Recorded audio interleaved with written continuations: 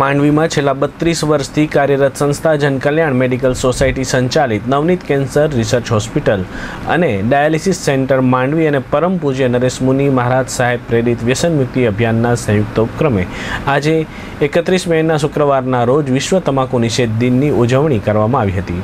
જનકલ્યાણ medical સોસાયટીના પ્રમુખ કિરણભાઈ સંઘવીના પ્રમુખ પદે અને માંડવીના ધારાસભ્ય અનુરાધભાઈ દવેના મુખ્ય મહેમાન પદે જનકલ્યાણ મેડિકલ હોસ્પિટલના પરિસરમાં એક કાર્યક્રમ યોજવામાં આવ્યો હતો.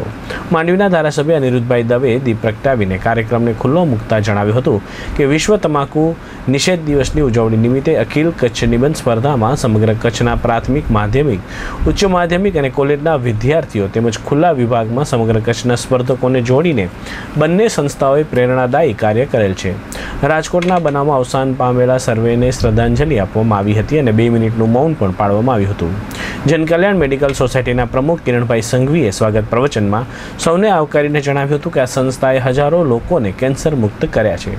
પરમ પૂજ્ય નરેશમુનિ મહારાજ સાહેબ પ્રેરિત વ્યસન મુક્તિ અભિયાનના મંત્રી દિનેશભાઈ શાહે અખિલ કચ્છ નિબંધ સ્પર્ધામાં સમગ્ર કચ્છના સ્પર્ધકો તરફથી મળેલા આવકાર બદલ ખુશીની લાગણી વ્યક્ત કરી હતી અને વિજેતા અને ભાગ લેનાર તમામ સ્પર્ધકોને અભિનંદન પાઠવ્યા હતા. તેમણે વધુમાં જણાવ્યું હતું કે નરેશ મુનિ મહારાજ સાહેબ ચૌદ વર્ષ બાદ કચ્છ પધાર્યા છે અને ચાલુ વર્ષે માંડવી તાલુકાના માપર ગામે ચાતુર્માસ કરવાના છે. ત્યારે ચાતુર્માસ દરમિયાન સમગ્ર કચ્છને વ્યસન મુક્ત કરવા ઘટતા તમામ પ્રયાસો કરવાની તેમણે જાહેરાત કરી. તેમણે ઉપસ્થિત સર્વેને વ્યસન મુક્ત બનાવવાની પ્રતિજ્ઞા લેવડાવી હતી.